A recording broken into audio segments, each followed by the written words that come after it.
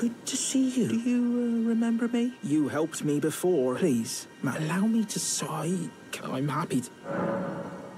Master, I was wondering, do you ever make adjustments to your garb yourself?